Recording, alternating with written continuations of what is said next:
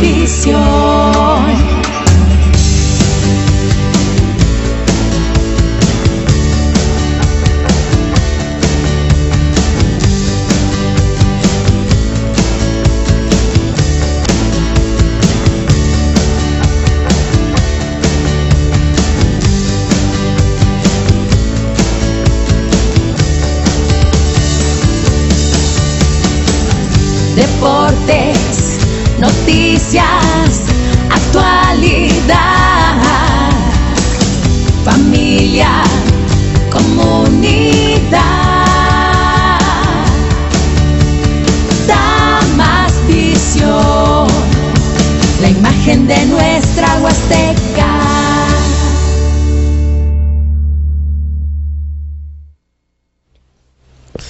Es un placer poder saludarles en esta noche de viernes 9 de octubre del año 2020, agradeciendo por supuesto la oportunidad de llegar hasta sus hogares a través de la señal de Tamasvisión en esto que es la edición de su noticiero Vivencia Informativa. Amigos todos de esta gran región y hermosa Huasteca Sur, gracias porque llegamos hasta Gilitla, hasta Axtla de Terrazas, amigos de Matlapa, por supuesto, a todos los buenos amigos de Tampacán y San Martín Chalchicuautla, de las delegaciones de Tamán, de Chápulo, Acanito y este gran, gran municipio como es el de Tamazunchale. Gracias a nuestros amigos que a través de las redes sociales nos siguen en esta la magia del internet, en el estado, en el interior de la República y más allá de nuestras fronteras tenemos información mucho muy importante e interesante para todos ustedes, como el reporte de salud en el estado, una brigada muy interesante acerca eh, de la salud y bueno, eh, notas interesantes de las cuales hoy les presentamos las siguientes.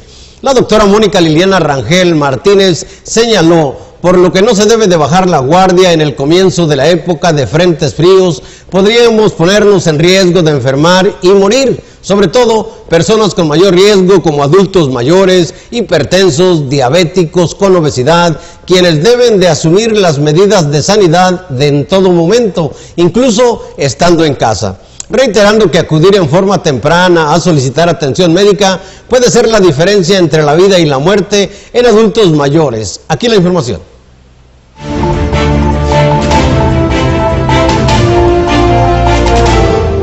Actualización COVID-19 San Luis Potosí. Y bueno, los incrementos aquí en San Luis Potosí destacamos a su atención en esta ocasión, pues fueron nueve las defunciones confirmadas en esta ocasión, pues como siempre lo decimos, son personas donde ya se tiene un expediente completo y se demuestra que la principal causa de la muerte ha sido el COVID-19 y desde aquí enviamos nuestro más sentido pésame a estas nueve familias que fueron afectadas por el COVID y que sumadas a las anteriores, pues ya son un total de 1.969 aquí en nuestro estado. De los casos nuevos en esta ocasión damos a, a conocer 115 y con los anteriores tenemos un total acumulado desde el 13 de marzo de 23.891 personas confirmadas a COVID-19. Aquí la, reflexión importante es el riesgo. El riesgo que, si bien hasta el día 11 de octubre estamos en naranja y estamos ya analizando el, la evaluación que se está enviando de la de Salud Federal, misma que será oficial el día de mañana en la tarde, independientemente del, del color del semáforo, independientemente de que estemos en un amarillo, en un verde, hay un riesgo. Y quiero compartir con ustedes un, una reflexión que hace la Organización Mundial de la Salud y es relacionado a una, un posicionamiento que hace y dice tácitamente, sacrificar a la gente mayor para lograr inmunidad grupal es inaceptable. Y haciendo algunas comparaciones, eh, habla, por ejemplo, de Italia, en donde hay muchas familias que son ampliadas, es decir, vive mamá, papá, pero también viven con ellos los abuelitos, ya sean maternos o paternos. Y generalmente son ellos los que se están enfermando aún en casa. Y esto también está sucediendo en el país, también está sucediendo en el Estado y no podemos, no podemos permitir que por una decisión equivocada en cuanto a actividades que estamos haciendo, llevemos este virus a casa. En el estado de San Luis Potosí, el uso de cubrebocas es obligatorio. Deberás portarlo correctamente en todos los espacios públicos, abiertos y cerrados, incluyendo oficinas, transporte público y todo tipo de comercio. Por tu familia, si sales, cuídate. Servicios de salud, gobierno del estado. En Tamazunchale, el presidente municipal, arquitecto Juan Antonio Costa Medina, teniendo como sede el Club de Leones, presidió las jornadas médicas propiciadas por el grupo Efesios Asociación Civil, destacando diferentes apoyos para la salud, entre ellos la prótesis para jóvenes, reconociendo también la participación de la jurisdicción sanitaria número 6 para validar los protocolos y así poder reducir los riesgos de transmisión y contagios del coronavirus, asegurando que esta campaña es gratuita y de mucho beneficio para los ciudadanos. Esta es la nota. Sí, bueno, el, mes pasado estuvimos eh, apoyando con estas jornadas médicas en Chapulhuacanito. Allá hubo, se apoyaron a 638 personas. Yo veo que la asistencia aquí en Tamazunchale va a superar la y en primer lugar pues, quiero agradecer a la Asociación Efesios este apoyo que nos ha brindado y a todo, a todo su equipo de trabajo, a las asociaciones que trabajan con ellos también para poder traer este apoyo a Tamazunchale, tanto de las jornadas médicas como de los eh, carritos para discapacitados, aparatos ortopédicos. En este caso, bueno, eh, vimos la, el apoyo de una prótesis de un brazo aquí para Yair y seguiremos trabajando en esto, ¿no? Eh, ap- también pues el- mi agradecimiento a todo el equipo de trabajo del municipio, también el apoyo a que eh, gracias a eh, al apoyo que nos brindó la, la jurisdicción sanitaria número 6 en la revisión del protocolo que teníamos que observar eh, respetando la- las indicaciones para reducir los, los, los riesgos que, de transmisión y contagio del, del coronavirus. Y igualmente agradecerle al licenciado Alberto Pinal Ortiz la facilidad que nos dio eh, facilitándonos el, el auditorio de la escuela preparatoria, principalmente para que la gente que está en espera no estuviera aglomerada en las banquetas y, se pudiera respetar la sana distancia y, guardar todo el protocolo que establece la autoridad sanitaria. Gracias a todos por, por este apoyo, gracias a ustedes también por cubrir el evento, creo que es un apoyo muy importante aquí para muchos ciudadanos del municipio de Tamazunchal. Sí, sí, definitivamente, pues eh, eh, apoyo en varios sentidos, no incluyendo el apoyo económico, ya que todo esto es, es, gratuito y, repito, creo que es, es de gran beneficio para, pues para todos estos ciudadanos que están teniendo la oportunidad de, de tenerlo. Está programando una próxima, eh, unas próximas jornadas médicas, eh, me informan para el mes de diciembre que se llevarán a cabo en, el, en la delegación de Tamán. Me informan que es aproximadamente la primera semana de, de diciembre. Muchas gracias. Por su parte, la licenciada Juliana Saraí Pasi Ruiz, encargada del Departamento de Atención Ciudadana, expuso que estas jornadas médicas tuvieron una excelente respuesta de la ciudadanía, rebasándose las expectativas, retirándose la gente contenta con los apoyos gestionados por el edil Toño Costa, señalando que estas jornadas médicas tienen una duración de tres días, concluyendo el próximo sábado a las 5 de la tarde. Sí, buenos días. Soy la licenciada Juliana y Ruiz, encargada del Departamento de Atención Ciudadana. Y sí, como, como lo mencionas, eh, hoy, hoy arrancamos las jornadas y como se pueden dar cuenta, con una excelente respuesta de la ciudadanía. La gente está respondiendo muy bien a este llamado.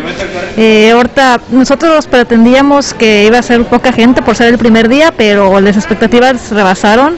Eh, es mucha la gente que está llegando, mucha la, la necesidad que estamos viendo y pero gracias a Dios eh, se está yendo la gente muy contenta por el apoyo que está que está brindando el ayuntamiento, el arquitecto Juan Antonio Costa Medina. Eh, ahorita, como pudieron ver también, se hizo la entrega de, la prótesis de la mano del joven Jair, que eh, en Chapulhuacanito se le hizo, se le dio también una, pero era más, más corta, ¿verdad? Entonces ahorita se les consiguió la, prótesis completa de su mano y ahorita el alcalde con su esposa y el equipo de trabajo tanto como los compañeros que vienen médicos de las brigadas se le hicieron la entrega a este joven y al cual se van muy agradecidos, muy, muy bendecidos. Entonces aquí vamos a estar hasta el día sábado con, con el horario de 9 de la mañana a 5 de la tarde. Se están haciendo bloques de 40 personas la demás gente, para no tenerla afuera esperando, se está trasladando a la preparatoria final que el licenciado nos, nos proporcionó. También agradecerle por este medio para que la gente no se esté aglomerando. Estamos tomando todas las medidas que COEPRIS, que eh, eh, nos hizo, eh, recomendado bajo el protocolo que se les llevó, en donde nos pedían carteles, la medida, como pueden ver, el lavamanos, el gel, la temperatura, todo se está llevando como, como se indicó en, en el programa. Claro que sí, la gente que está viniendo es gente que en realidad necesita, gente muy vulnerable y, y se está yendo muy, muy agradecida porque sabemos que pues ya para pagar una consulta tan solo en cuántos en cuánto sale una consulta, ¿verdad? Y ahorita pues todo es gratuito desde, la consulta, el medicamento, la atención de las especialidades que están viniendo.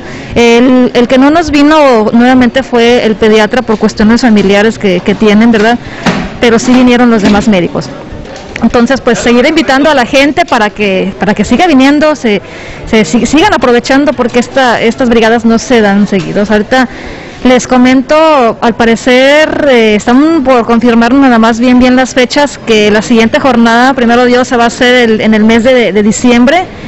Sabemos si es en la primera o la segunda, en la segunda semana en la delegación acá de Tamán. Por ahí vamos a estarles pasando ya el dato exacto de, cómo va, va a estar, ¿verdad? Sí, eh, pues seguir invitando a la gente que venga, eh, no estamos dando preferencia, prioridad, es para toda, toda la, gente necesitada y vulnerable. También hacerles eh, la mención ahorita que se le entregaron ahorita ya tres carritos a, gente de, que, fue valorada y que fue capacitada para, para, para poder este, entregarles este, estos carritos móviles y comentarles que vienen en camino 190 más para los que en realidad eh, necesiten. Gracias. En su momento, el licenciado J. Jesús Martínez Reyes, flamante jefe del Departamento de Participación Ciudadana, hizo saber que el presidente Toño Costa le solicitó coordinarse con el Departamento de Atención Ciudadana para unir esfuerzos y tratar que las cosas salgan de la mejor manera, cumpliéndose en este momento todos los protocolos que marca COEPRIS para este tipo de eventos, logrando unas brigadas médicas completamente sanas.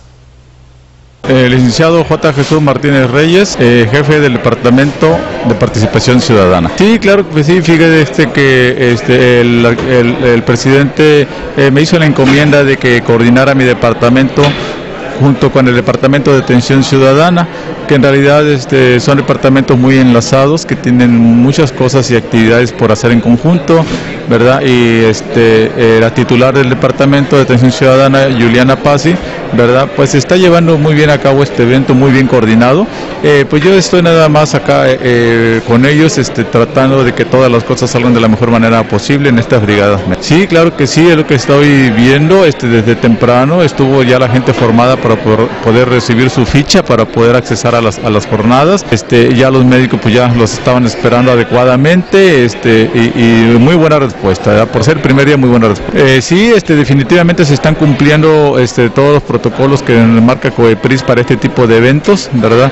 Entonces este, eh, eh, se formó un protocolo ¿verdad? exclusivo para este tipo de evento y pues algunas recomendaciones y observaciones que COEPRIS este, realizó pues ya fueron solventadas, entonces es un evento total sano, podríamos decir, ¿verdad? Para todos los asistentes a, esta brigada médica. Pues esperamos de veras que la gente salga este, contenta, ¿verdad? Por la atención que se le está dando. En realidad es un apoyo este, médico muy importante, en verdad. Este, ya sabemos que la economía de las personas ahorita pues no es la adecuada, ¿verdad? Esto de la pandemia pues sí, sí, sí, sí, sí, sí dejó a varios este, pues digo, con un recurso muy escaso. Entonces, estas jornadas médicas eh, eh, que se están realizando, ¿verdad? Y la entrega de equipo que se está haciendo, como los lentes, por ejemplo, la prótesis de la persona esta que la necesita, más algunos bastones por ahí para invidentes y, muchas cosas más que se están aquí otorgando a la población de manera gratuita, son bastante importantes, un gran apoyo. Pues esperemos que este, a las personas que decidan asistir todavía el día de mañana viernes y el día sábado,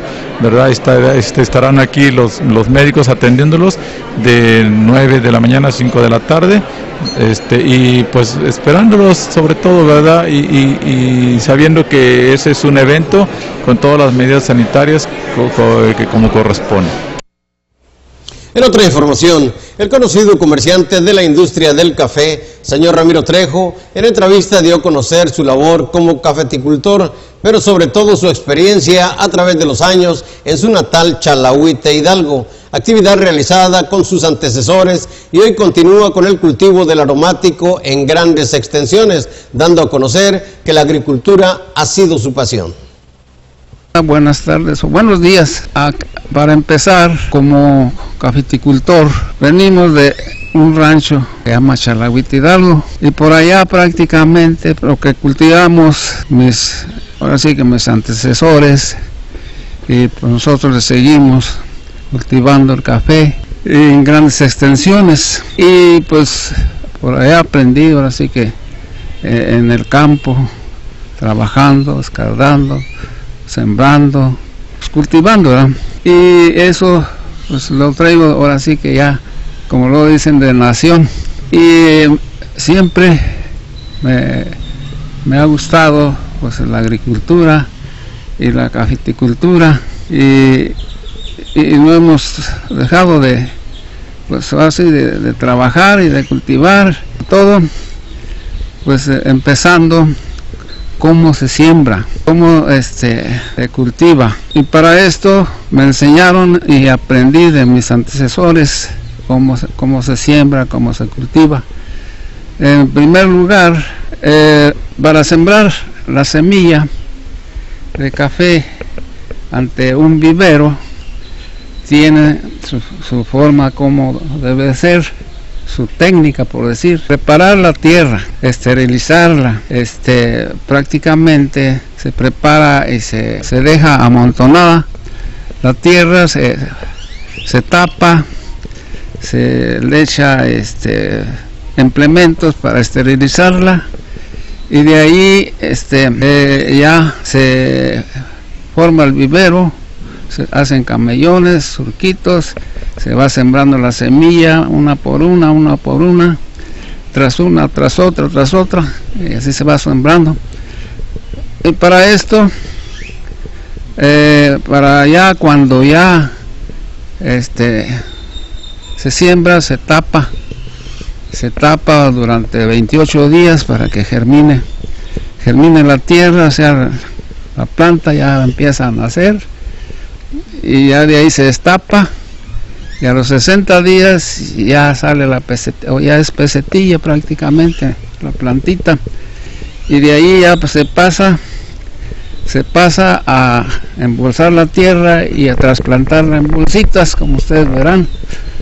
Y así este a los 3 4 meses ya se saca a, las huertas a las fincas o sea a sembrar a sembrar en las fincas entonces prácticamente es, el proceso que se va que se va haciendo hasta para para su producción, por decir, tarda pues, de esta planta que, que ahora ha salido, que según es más resistente para los climas y que para las plagas, que es una variedad de café, café azteca de oro, y que hay varias, hay, varias, varias, este, pero ahorita lo que yo he, venido cultivando o sembrando prácticamente tiene como cinco años para acá es azteca de oro y el criollo y este eh, otra variedad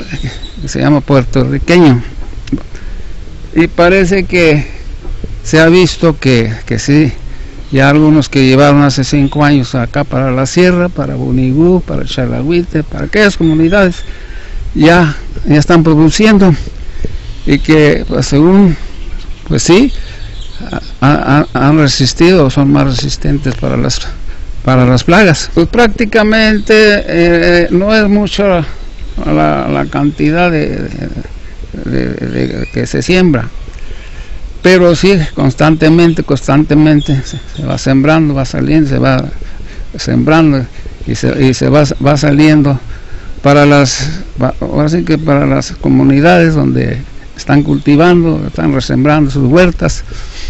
Y pues yo trato de, siempre y, ahora de impulsar a los cafeticultores, inclusive en lo poco que yo sé, les doy asesoría y parece que pues este sí, sí, sí están este cultivando y, en cuanto a sus huertas que ya están, están teniendo fruto. Ellos me dicen, no, dice, pues fíjense que sí, este, se han venido este, cultivando muy bien las plantas y que ya están produciendo y ya les está redituando. Y claro que pues eso es, bueno puesto de que yo como comercializador de compra y venta de café pues también lo hago con ese interés por decir es un es, es un,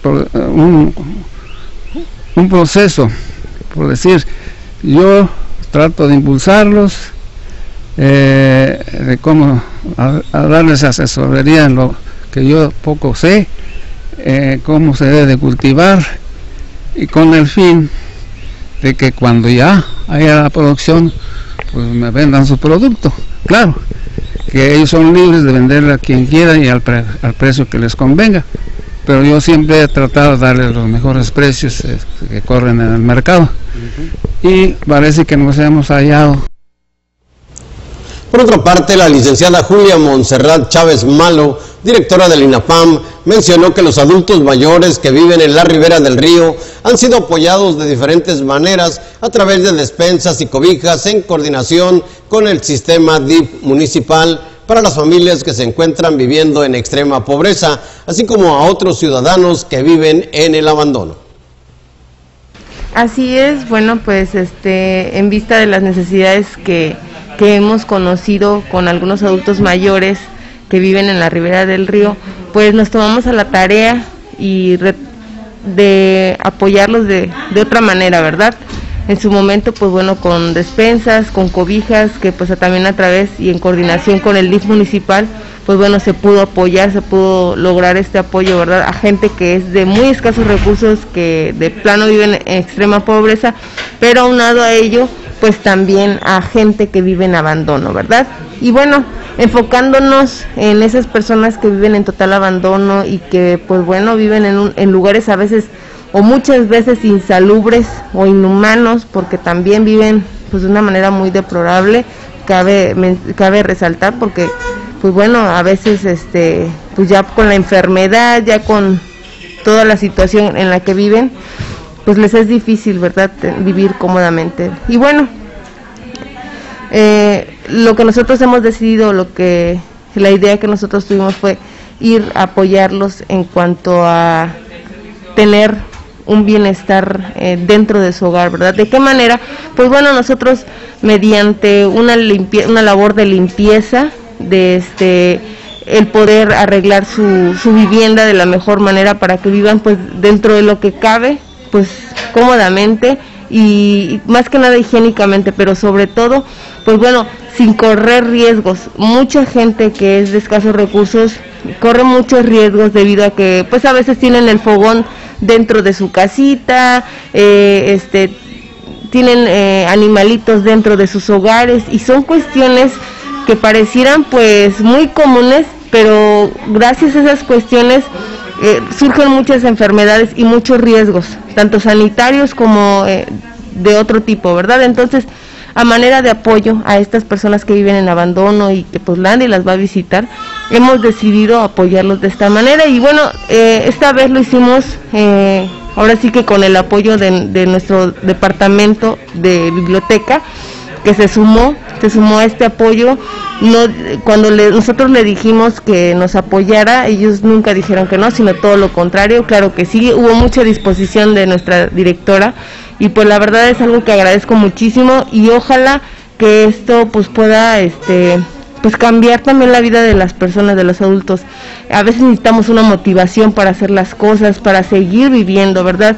Ojalá que esto, pese a que, bueno, no es una digamos, no es una gran cosa, pero pues sí cambias, cambias la mentalidad, cambias la autoestima de las personas. Y pues bueno, si con ello también puedes mantener y cuidar al adulto mayor sin que viva con riesgos, pues qué mucho mejor, ¿verdad? Eh, no es un caso, son varios casos que tenemos, pero bueno, como nosotros vayamos pues, este, pues caminando, vamos a ir este, apoyando a estas personas, ¿verdad? Ojalá que, que la sociedad también se sensibilice, porque también es a manera de una campaña de sensibilización que nosotros, pues bueno, desde siempre hemos traído, ¿verdad? Esa manera de que la gente también conozca esa parte del INAPAM, ¿verdad? a veces vemos el trabajo de oficina, vemos el trabajo de actividades, pero también existen estas otras cosas que también las puede hacer cualquier persona, ¿verdad? Eh, lo podemos hacer nosotros como sociedad, no te cuesta nada, es cuestión de trabajo, esto es cuestión de decisión, es cuestión de darte tu tiempo y poder ayudar a otras personas. Ojalá, ojalá que la gente se sensibilice, ojalá que lo tome a bien, porque hoy en día se ha perdido esa parte humana, ¿verdad? Hoy en día estamos a la espera eh, pues de ver a quién fregamos, ¿verdad? Y no de ver a quién ayudamos. Entonces, una manera también de sensibilizar, sensibilizar a nuestra sociedad es de esa manera. Ojalá que, los jóvenes, nuestros amigos, nuestros compañeros, eh, tengan ese tacto, tengan ese, pues bueno, eh, ese buen corazón de poder ayudar a a quien más lo necesita, ¿verdad? Y a veces no necesitamos salir de casa porque nuestro adulto mayor muchas veces sufre desde la familia, ¿verdad? Desde casa. Entonces, vamos a empezar por ahí, por nuestra casa. El buen juez por su casa empieza y vamos a hacerlo de esa manera, ¿verdad? Entonces, pues bueno, ojalá y esto les ayude. Este, los invito, los invito a que cuidemos a nuestros adultos mayores. Ellos nos necesitan muchísimo. Recordemos que todos vamos para allá y que hay que crear pues conciencia en toda en toda nuestra familia, ¿verdad? En la sociedad y en las instituciones. En otra información, el expresidente municipal Rosendo Paz y Pacheco, en entrevista exclusiva, comenta sobre la instalación de Coparmex en esta Huasteca Sur con la presencia de reconocidos empresarios, comentando también sobre la participación de Julio Galindo, quien no olvide el potencial que tiene esta tierra, que es cuna de su familia, y así impulsar a la Coparmex, reconocida a nivel nacional, dando la oportunidad de iniciarse este ciclo de franquicias en Tamazunchale. Sí, fíjate, este, digo, a mí me, me dio mucho gusto saludar a, a, este, a Julio Galindo, eh, que para muchos a lo mejor no, no lo recuerdan, ¿verdad?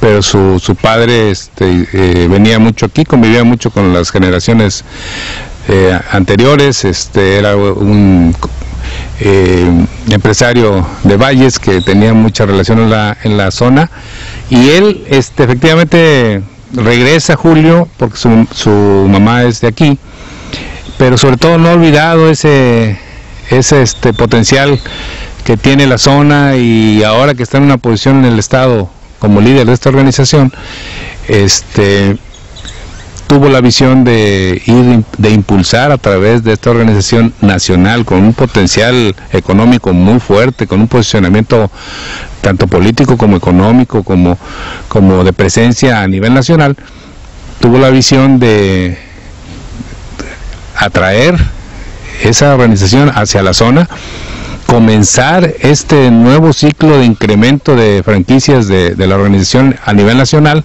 pero iniciarlo aquí en Tamazunchale.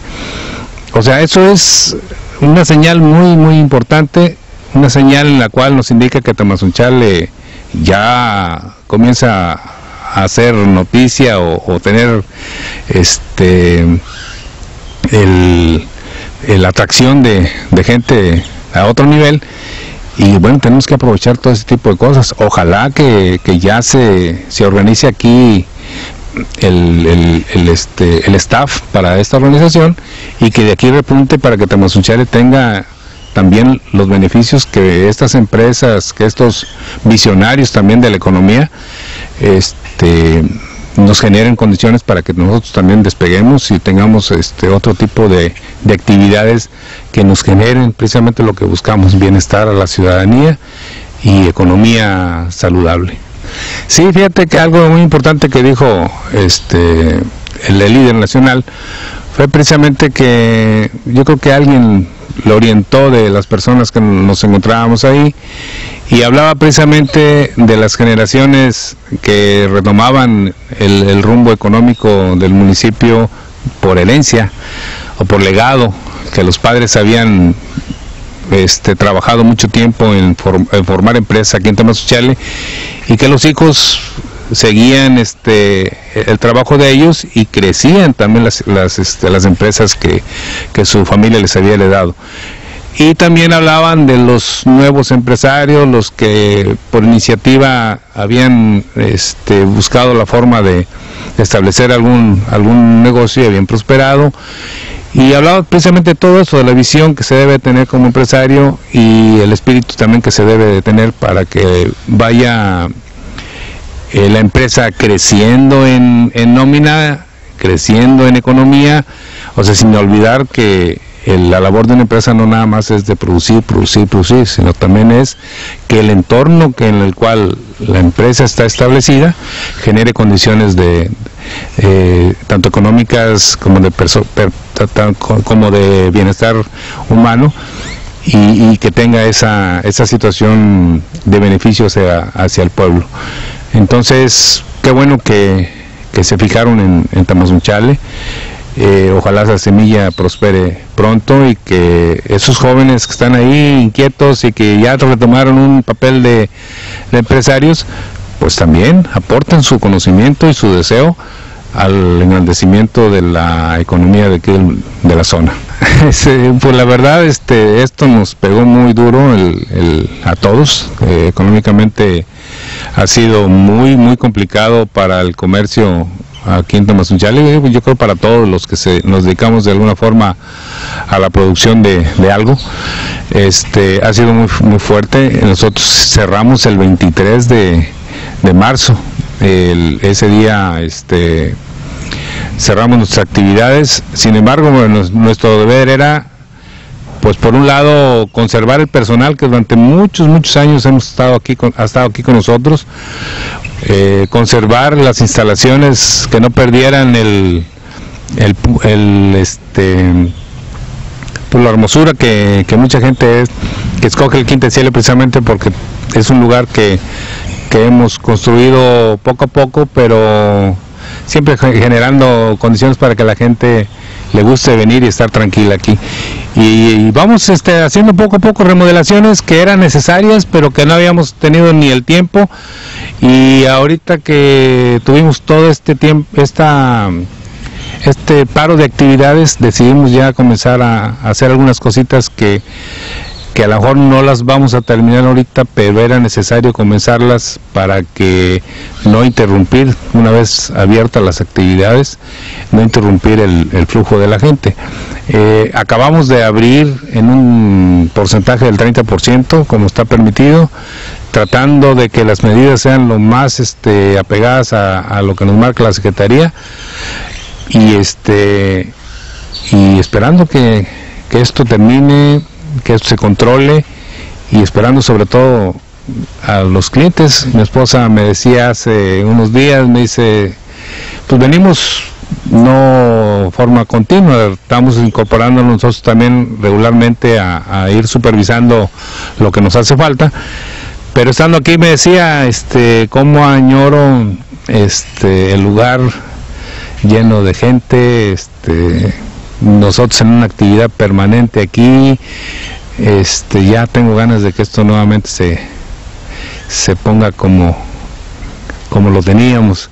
Y bueno, pues eso es parte de nuestro trabajo, lo tenemos que hacer, tenemos que esperar los tiempos, pero las ganas de que esto funcione, de que esto siga creciendo, de que esto siga eh, produciendo, de que, que, la gente nos siga buscando, son las mismas. Nosotros estaremos siempre al pendiente de este lugar para que sea del gusto de la, de la ciudadanía y que tengamos también nuestra propia este, producción económica para las personas que nosotros también tenemos aquí como, como empleados. Es parte también del, crecimiento de Quinta al Cielo, crecemos nosotros, crecen ellos. O sea, nosotros nunca abandonamos, por esto tenemos este, trabajadores que tienen 15, 14, 9, 8 años con nosotros, precisamente porque velamos también porque su su situación económica esté, esté bien también. Pues saludarlos y decirles que tenemos que involucrarnos todos en lo que en lo que viene, sea política, sea economía, sea este trabajo social, tenemos que involucrarnos todos porque esto nos dejó una gran lección. Si las cosas se detienen, pues vamos todos en el, barco, o sea, tenemos que generar, tenemos que aportar, tenemos que ser más sensibles, tenemos que este, apoyarnos entre todos, tenemos que apoyar a la gente que, pues, que está batallando, sufriendo y tenemos que involucrarnos. El, barco de la vida está este, caminando y ahí estamos nosotros dentro y si no hacemos algo por porque esto se mantenga bien pues no va a pasar más que lo inevitable entonces vamos a apoyar vamos a generar condiciones vamos a involucrarnos y donde quieren la cualquier trinchera que estén va a ser productivo el asunto entonces una invitación al pueblo de Tamazuchale para que hagamos el esfuerzo todos en un momento continuamos con la información, pero antes escuchemos estos interesantes mensajes. No le cambie, quédese con nosotros aquí en su noticiero Vivencia Informativa. 30 de septiembre, inicio del proceso electoral en San Luis Potosí, con una nueva ley que establece claramente lo relativo a la paridad, lenguaje incluyente y violencia política de género que garantiza los derechos humanos de ciudadanas y ciudadanos, participación firme de las mujeres en la vida política de nuestro Estado. Sexagésima segunda legislatura, debatir para decidir.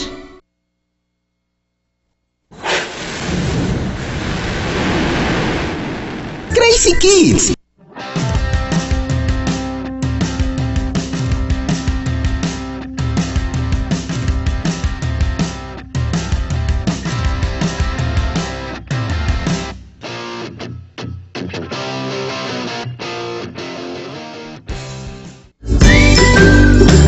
Inflables y animación de fiestas. Crazy Kids, el peque espacio de la diversión. En Crazy Kids te ofrecemos para tu fiesta lo más nuevo en renta de inflables, juegos lúdicos e interactivos y animación con juegos y dinámicas. Contáctanos al 483-107-1592 y elige el paquete que más te guste. O si lo prefieres, arma el tuyo. Es muy fácil. Elige desde un inflable. En Crazy Kids garantizamos la diversión de tus invitados.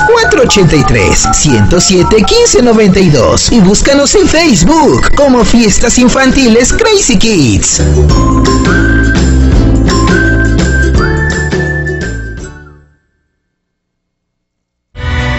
San Luis Potosí cuenta con una nueva ley orgánica del Centro de Conciliación Laboral que representa certeza legal para los trabajadores. Seis foros de consulta con sectores involucrados y especialistas para establecer mecanismos de solución en conflictos laborales a través de la conciliación.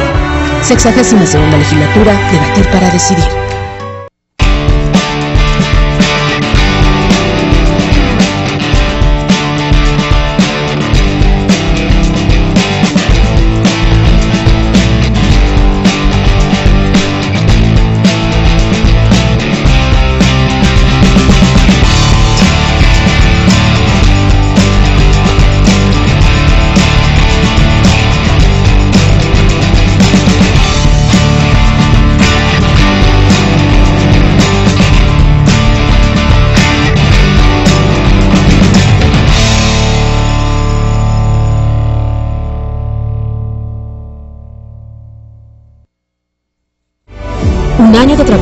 Económicos, políticos, académicos, organizaciones civiles y diversas autoridades para lograr normas acordes y justas para San Luis Potosí. 495 decretos, 10 nuevas leyes, reformas a 72 ordenamientos, 85 puntos de acuerdo y 460 iniciativas procesadas. Sexagésima segunda legislatura, debatir para decidir.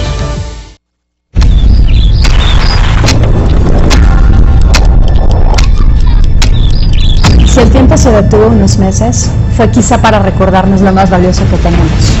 Hicimos una pausa, sí, pero solo para regresar con más fuerza, con el deseo de aprovechar cada instante y volver a contar historias. Lo cierto es que hoy San Luis Potosí está listo para inspirar tus sueños nuevamente. Vuelve a explorar los paisajes surrealistas de este estado y descubre los contrastes que nos unen.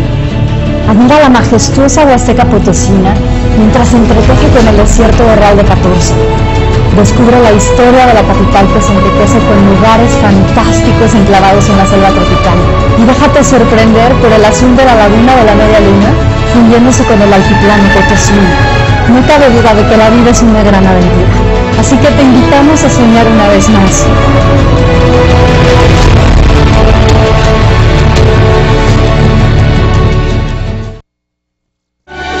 El Congreso del Estado fuimos claros y firmes para sancionar la violencia política contra las mujeres en razón de género. Por ello modificamos la Ley de Acceso de las Mujeres a una Vida Libre de Violencia, Ley Orgánica del Municipio Libre, Código Penal, Ley Orgánica de la Fiscalía General y Ley de Responsabilidades Administrativas. Sexagésima segunda legislatura, debatir para decidir. Continuamos con la información. El director de la APAS, ingeniero Arturo Aradillas, mencionó que en este año han pasado por una serie de complicaciones como lo fue el estiaje muy prolongado, así como la presencia de mucha agua que también perjudica al organismo operador, afectando el sistema principal, quedando sin agua demasiada gente. Sin embargo, se está bien en cuanto a la administración y el equipamiento, el cual ha sido fortalecido. Eh, Arturo Aradillas Sánchez. Pues ya para finalizar este año hemos pasado primeramente que nada por una serie de, de complicaciones. Eh, hablamos de lo más fuerte que nos pasó fue el estiaje. Este, cada año los estiajes son más prolongados. Ahorita afortunadamente ya salimos, sí, pero también vienen cuestiones de demasiada agua que también nos vienen a afectar, como hace aproximadamente 15 días, que nos afectó el sistema principal este, y el sistema del manantial La Fortuna, donde se queda sin, sin agua pues, pues bastante cantidad de gente. Pero este, de ahí fuera, pues parece que todo bien, eh, en cuanto a administración, todo bien, equipamiento, hemos seguido sumando más equipamiento al organismo operador, además ahorita me encontró haciendo una solicitud para unas, unos vehículos, este, pues estamos trabajando, estamos trabajando y este, pues vamos, a, vamos saliendo poco a poco adelante. A pesar de, de las circunstancias que a veces pues no contamos con la cuestión de, eh, cuestión del clima, ¿verdad? Que, que, sí nos afecta, pero pues hemos estado creo que preparados para, para eso. Hasta ahorita bien, ahorita bien, este, tenemos un equipo operativo bastante bueno, este, se trabajan hasta tiempos de más, sin, sin esperar alguna compensación, cuando se puede y hay la manera de, se les compensa a los trabajadores porque pues ellos son los que están haciendo el trabajo más fuerte lo que es trabajo de campo.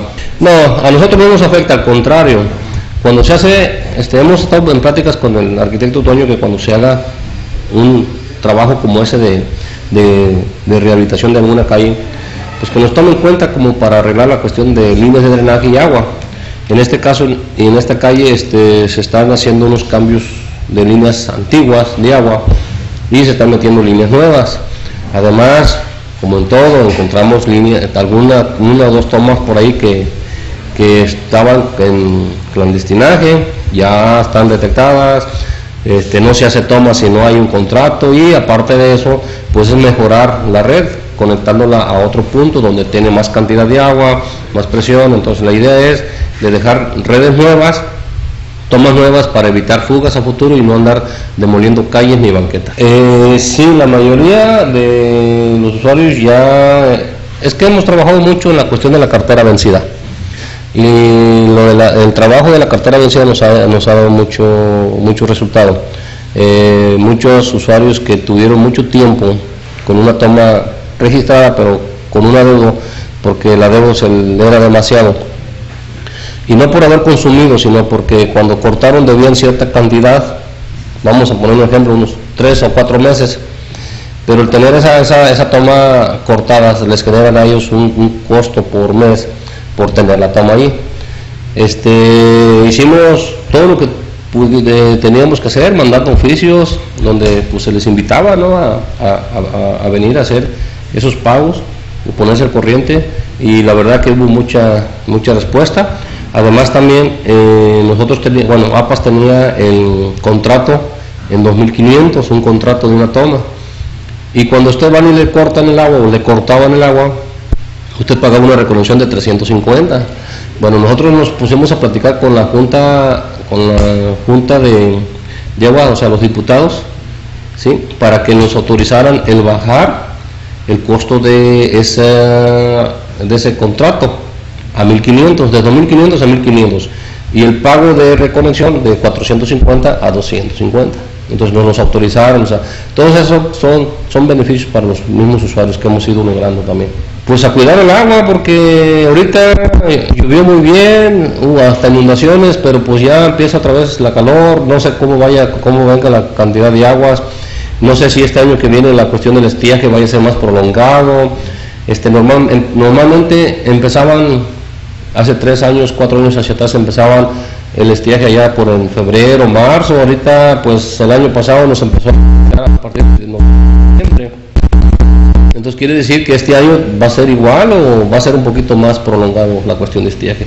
Pues a cuidar el agua y este, pues la verdad hacer una invitación a, a los pagos en tiempo y forma porque pues de los pagos nosotros eh, utilizamos ese recurso para lo que son los mantenimientos de los equipos de bombeo, para el pago de luz, porque a nosotros no podemos atrasarnos a los pagos de luz, ¿sí? O sea, nosotros sí debemos estar al corriente, entre otros pagos que hacemos, por ejemplo, a la Comisión Nacional, a la Comisión Nacional del Agua, este, también tenemos que pagar algunas, el pago por derecho de extracción de agua, por ejemplo. Entonces, pues sí, es, pues, la recomendación es, primero, cuidar el agua, ¿sí? porque cada vez está eh, acabando y pues tener en, los pagos puntuales. Por otro lado, en la Biblioteca Pública Manuel José Otón, la señora Fabiola Martínez dijo que a partir del mes de septiembre se reactivó el turno vespertino, ya que los alumnos del nivel medio y superior estaban iniciando sus clases de manera virtual y en la biblioteca las pueden realizar apoyados en el Internet. Estos son sus comentarios. Muy buenas tardes, mi nombre es Fabiola Martínez Ortiz, encargada de la Biblioteca Municipal eh, Manuel José Otón. Sí, sí, sí, ya hace este, principios del mes de septiembre reactivamos el, turno de la tarde, ¿verdad? Este, vimos la necesidad ya de, este, abrir este servicio ya que los este, alumnos de nivel superior y medio superior este, pues ya estaban iniciando clases y por la necesidad de tomar clases virtuales, del uso del Internet, ¿verdad? Como bien saben muchas personas pues no tenemos la oportunidad de tener Internet en casa. Entonces, como apoyo, este, pues estamos ya trabajando de 8 de la mañana a 8 de la noche, los dos turnos, y con el internet totalmente gratuito para este que los alumnos aprovechen verdad este servicio y este pues ahorremos también esa parte ya que por toda esta situación que estamos viviendo son este es complicado, ¿verdad? son este, situaciones complicadas y pues bueno, como apoyo a todos los alumnos y también a, personas que trabajan y hacen uso de internet, pues totalmente gratuito aquí en la biblioteca municipal. Sí, sí, sí, ya este, ya está el personal en la tarde, ¿verdad? Este, poco personal todavía también porque tenemos gente que es vulnerable y que este, tienen que, estar este, en, resguardo, pero con el, con el que contamos, pues sí, si hay servicio de la tarde en este, las instalaciones, servicio de internet y este, cualquier préstamos a domicilio, eh, también ya se tienen este, activados esos servicios. Principalmente, ¿verdad? Ellos que este, son los que ahorita están aprovechando, este, eh, tomando sus clases aquí, tienen libros a la mano, internet y bueno, este, también la instalación este, es este, muy apropiada, la verdad, este, como, como puedo observar, hay este, tranquilidad, este, ellos pueden tomar sus clases y, todo este, el servicio pues está disponible. Respetando este, el reglamento ¿verdad? De, este, dentro de la biblioteca, pues mantener el orden, este, no hacer ruido por respeto a los demás que también están trabajando y pues obviamente este, el consumir alimentos dentro de la biblioteca tampoco está permitido, entonces ya nada más este, salen a tomar su, su almuerzo o en la parte de atrás que también está disponible y fuera de ahí pues permanecen aquí, ¿verdad? Y es, si ahora sí que el servicio es de 8 a 8, si permanecen de 8 a 8 pues aquí, aquí sin ningún problema están las instalaciones. Este es el, área infantil, este también este permitimos también el acceso a los niños siempre y cuando se respeten las medidas que nos este, indica Secretaría de Salud, no retirarse el cubrebocas y estar acompañados de sus papás, ¿verdad? Este, ahorita sí, sí necesitamos que sus papás papás estén muy al pendiente de ellos, este, precisamente pues porque a veces los, si uno como adulto de repente es molesto traer todo el tiempo el cubrebocas, este, pues con los niños todavía es un poquito más, entonces para prevención de ellos sí les pedimos que sean compañía de papá o de mamá y las instalaciones pues están disponibles. Este, pues nada más este, seguir este, dando el mensaje, ¿verdad? Que, que el internet es totalmente gratuito en la biblioteca para los alumnos que deseen hacer uso del servicio. Este, trabaja, estamos trabajando de lunes a viernes, de 8 de la mañana a 8 de la noche. Momento que necesiten servicio, pues estamos para servirles. En otra información, el senador de la República, ingeniero Primo Doté Mata, en visita relámpago al agua azteca, a través de Tamasvisión, da a conocer, entre otras cosas, que se han difundido mucho a través del diputado Noroña sobre las acciones de los diputados de Morena, a quienes se les ha atribuido el votar a favor del PRI, cosa que es inédita. Esta es la información.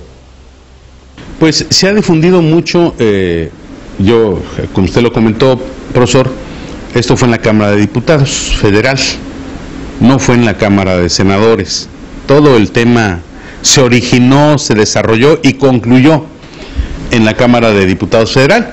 Y un personaje, un compañero que ha manifestado, un compañero legislador que ha manifestado mucho tiempo estar en favor de la cuarta transformación, aunque no está en Morena, está en el PT, en el Partido del Trabajo, que es el diputado Gerardo Fernández Noroña, mejor conocido como Noroña, Noroña. Él protagonizó, él fue parte, él fue uno de los actores eh, protagónicos, protagonistas de esta historia, donde en el ámbito de quienes simpatizan o quienes se identifican con la izquierda, por así decirlo, con la cuarta transformación, con la izquierda, este, al día de hoy se han quedado con un sinsabor de boca, se han quedado con decepciones, tal cual lo dicen, estoy decepcionada, estoy decepcionado, este, estoy inconforme, ya no me gustó, porque las diputadas de Morena, los diputados de Morena traicionaron, nos traicionaron, votaron por el PRI. ¿Sí? ¿Y de dónde sacan eso? Pues es que ahí en internet apareció, este ya Noroña habló y otros también, y los portales famosos que siempre sacan en favor de Andrés Manuel y en favor de Morena, esos portales también ya dijeron que hubo una traición. ¿Por qué se dice que hubo una traición? Porque también, hace rato comentaba, profesor, cambiamos la mesa directiva al Senado, también se cambió la mesa directiva de la Cámara de Diputados Federal. Cada año cada año tenemos que cambiar de mesa directiva. Y es más, hasta nos ponen de ejemplo, como en el Senado, ¿sí? en el Senado, el primer año de la mesa directiva estuvo Martí Batres, de presidente de la mesa directiva, de uno de los órganos de gobierno del Senado. Martí Batres, senador de Morena. El segundo año, Morena, que ganamos, ganó el presidente Andrés Manuel, nosotros ganamos el poder, el gobierno. El segundo año estuvo Mónica y hasta Primo estuvo ahí en la mesa directiva de Morena. Y el tercer año ahorita, Eduardo Ramírez, senador por Chiapas de Morena. Porque en la Cámara de Diputados le entregaron la, le entregaron la mesa directiva, se dice, al PRI, Dulce María Sauri Rancho. Si nosotros ya no queríamos PRI, ya no votamos por el PRI, quienes no votaron por el PRI son los que lo dicen, ¿verdad? quienes se identifican más con, la izquierda, con Morena, con las luchas democráticas, la historia. Este, ¿Por qué se le entregó al PRI? ¿No? Traicionaron. Y ahí va, ¿no? es más, este, eh, ¿quién organizó todo eso? Pues el que coordina a los diputados, ese Mario Delgado. Ese fue el traidor principal. Y los traidores, todas y todos los diputados que votaron por el PRI. Yo les quiero decir, amigas y amigos, de verdad, con la misma responsabilidad con que siempre hago todo el esfuerzo de dirigirme. ¿No hay tal traición? No votó nadie por el PRI. ¿Dónde está que estén votando por el PRI? Eso es mentira. Entonces, ¿por qué es presidenta eh, la diputada Sauri Riancho del PRI? ¿Por qué no alguien de Morena? Porque cada, cada poder legislativo tiene sus leyes. Recordemos, es un poder legislativo, es uno de los poderes de la Unión. y está la Cámara de Senadores y la de Diputados. En el Senado, el reglamento del Senado, la ley que nos rige, esa ya estaba antes de que llegáramos. Esa ley dice que la presidencia, no toda la mesa directiva, la presidencia de la mesa directiva la va a ocupar el partido que haya ganado la mayoría. ¿Cuánto tiempo? Los seis años. Por eso estos tres años Morena ha tenido la presidencia de la mesa directiva. Los tres años siguientes la va a tener Morena en la presidencia de la mesa directiva. Así lo dice el reglamento. No porque levantemos la mano y querramos o no, el reglamento que nos rige a todos nosotros, así lo dice. En la Cámara de Diputados es distinto. En la Cámara de Diputados la ley previa que ya existía dice el primer año es para quien tenga la primera fuerza en la Cámara de Diputados, el segundo año para quien tenga la segunda fuerza y el tercer año para quien tenga el tercer número de legisladores. Por eso Porfirio Muñoz Ledo fue el primer presidente de la Cámara de Diputados, de la mesa directiva, presidente de la mesa directiva. El segundo año, y esto a veces se pierde, quien acaba de salir de la presidencia de mesa directiva en la Cámara de Diputados fue el PAN, Ahí podemos googlear Laura Rojas, panista. Entonces no acaba, de salir Porfirio. No, Porfirio salió el año pasado. Este año salió la panista Laura Rojas. ¿Y por qué pusieron una panista? Porque la ley lo dice y les otorga ese derecho. Tienen el segundo lugar en legisladoras y legisladores, le corresponde el segundo año. Este tercer año le corresponde a quien esté en tercer lugar. Y estaba en tercer lugar estaba el PRI y en cuarto estaba el PT. El PT brincó al PRI para ir al tercero convenciendo a unos diputados de Morena, pero estaba originalmente en el cuarto lugar. ¿Es ilegal lo que hizo el PT? No es ilegal. ¿Es ético? Pues ahí habría un debate. Pero se jaló algunos diputados de Morena renunciaron a Morena por un ratito, renunciaron a Morena, se sumaron al PT y el PT del tercero, del cuarto, se subió al tercero y el PRI quedó en cuarto. Pues el PRI no se quedó con las ganas, convenció a unos del PRD, se suman al PRI y se vuelve a regresar a su tercer lugar. El PT ya no tiene a quién más sumar. El PRI se queda en tercer lugar. ¿A quién le corresponde la presidencia de la mesa directiva? al tercer lugar. ¿Quién era el tercer lugar? El PRI. Ahora, cuando votamos en el Senado o en la Cámara de Diputados, no se vota por un partido, se vota por la mesa directiva. Y la mesa directiva son varios, todos vemos las, las fotografías. ¿A poco está solamente una persona ahí sentada? Son varias personas de la mesa directiva. Y es una composición, ah, ¿se hacen acuerdos para tener la composición? No, se sigue la ley quiénes son los vicepresidentes, de qué partido, quiénes son las y los secretarios y de qué partido. Entonces, en una mesa directiva, en la Cámara de Diputados, por ejemplo, están del PRI, están del PAN y están de Morena. Igual en el Senado, el presidente ahorita es de Morena, pero hay vicepresidenta del, del PRI, del PAN, y hay un vicepresidente del PRI.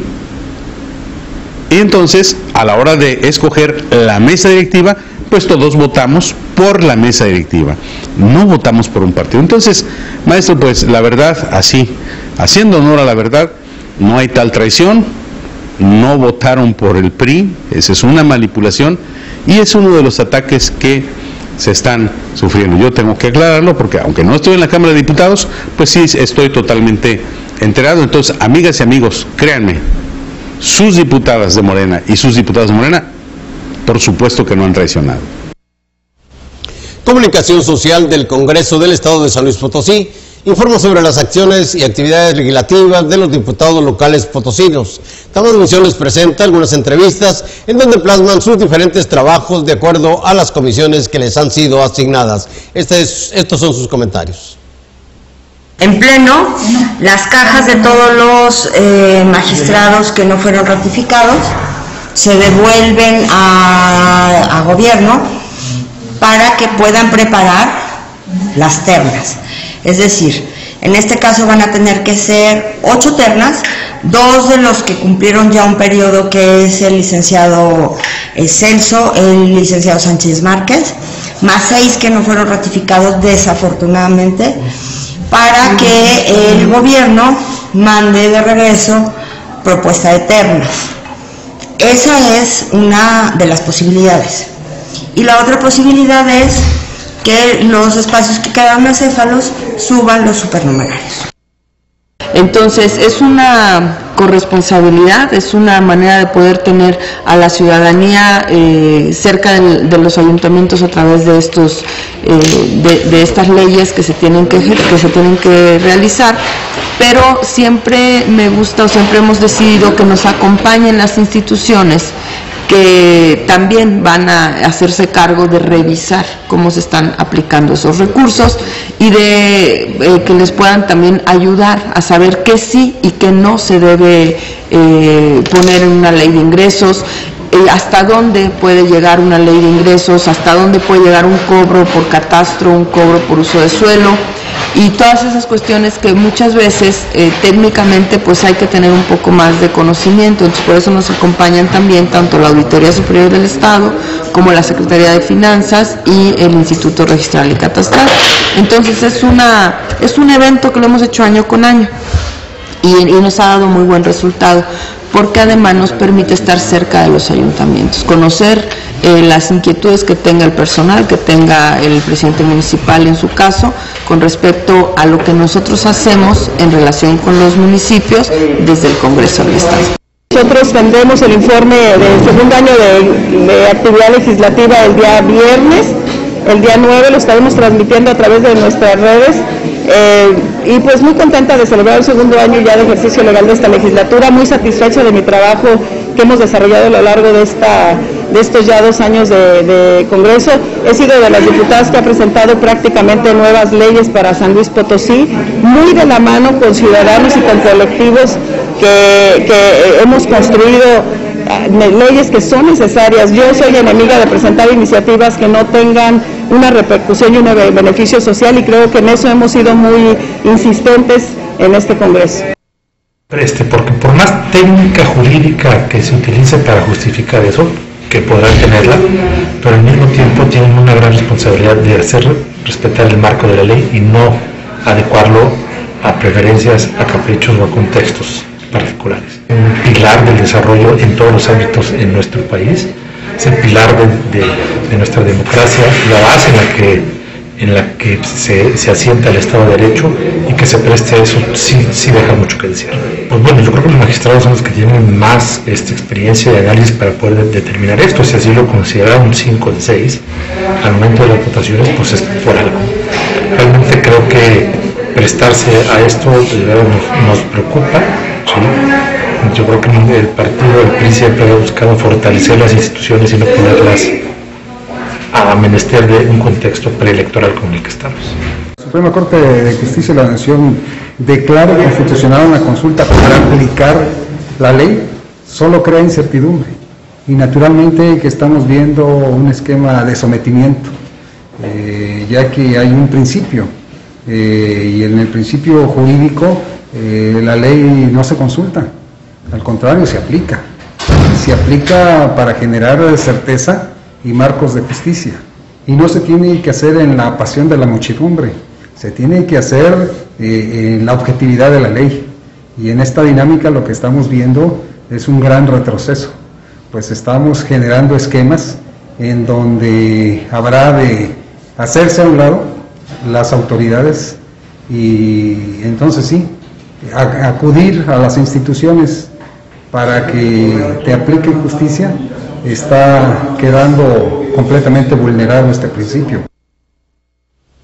El gobernador del estado, Juan Manuel Carreras López, reconoció los avances en los trabajos para la declaratoria de conservación de la flora y fauna y recursos naturales de la Sierra de San Miguelito Además, escuchemos a la titular de la Secretaría del Medio Ambiente y Recursos Naturales, María Luisa Albores González, así también al Procurador Agrario Luis Hernández Palacios. Esta es la información.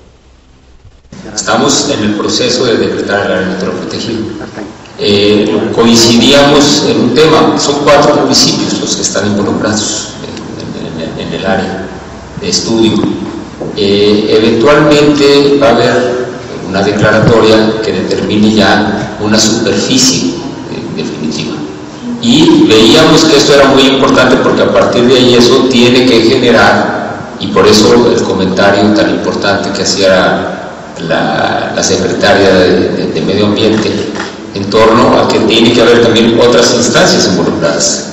En este caso, pues a través de SEDATU y seguramente con los ordenamientos municipales, pues quedarán, eh, se, podrá seguir trabajando en otro tema que está, eh, digamos, fronterizo, pero que es distinto, que es un desarrollo urbano ordenado. Entonces, me parece que aquí ahorita lo que estamos es tratando de ver primero qué es lo que se va a preservar para que a partir de ahí se pueda generar también la otra discusión a través de las instancias permanentes. Haciendo una aclaración, esa discusión será siempre, eh, siempre existirá y siempre se tendrá que dar y siempre se tendrá que dar conforme. Lo que estamos haciendo el día de hoy es sumarnos al proceso que ya se viene dando para decretar área natural protegida, la Sierra de San Miguelito.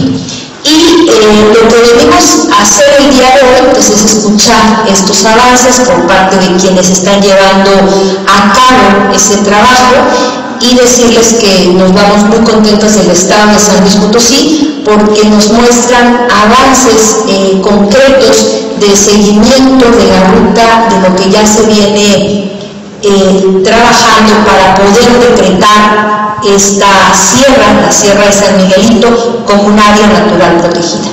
Y hacer un recuento que las áreas naturales protegidas son muy importantes eh, a lo largo y ancho del país porque son los reservorios de la vida, en ese caso hablo de flora, de fauna, pero también los reservorios de la vida de habitantes Recordar que San Miguelito es la parte alta de la ciudad de San Luis Potosí. Y en esa parte alta son los reservorios de agua y lo que buscamos también es preservar el cuidado de la vida de los habitantes. Entonces es muy importante lo que se está haciendo, lo que se está trabajando y venimos a refrendar eh, el trabajo en equipo el gobierno federal con el gobierno estatal y tenemos ya una ruta, una ruta donde tenemos tiempos para poder entregar ese trabajo, para poder decretar como área natural protegida la Sierra de San Miguelito.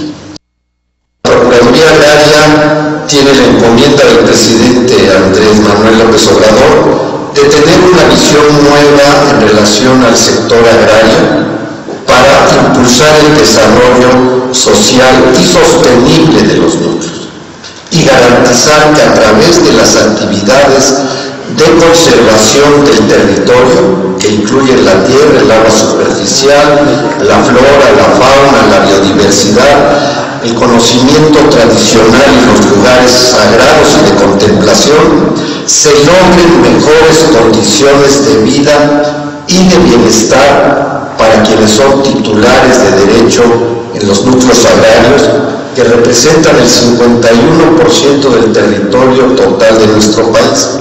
Damos a conocer a ustedes que hemos iniciado en coordinación con la Semarnat y con el Gobierno del Estado un proceso de información sobre los objetivos y características de esta declaratoria de área natural protegida a los 37 núcleos agrarios el viernes pasado iniciamos, llevamos 11 núcleos en el fin de semana y en el curso del mes esperamos alcanzar la totalidad para ir dando a un paso más amplio de difusión del proyecto hasta que llegue la publicación de la convocatoria a una consulta pública que precederá a la declaratoria de esta área natural protegida.